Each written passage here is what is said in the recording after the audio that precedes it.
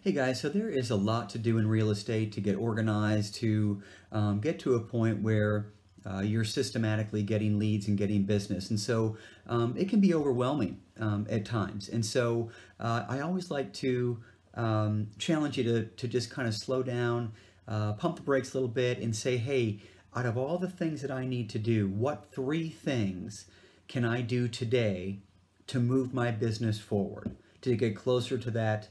Uh, goal. I'm not talking about big sweeping changes. I'm not talking about instant closings.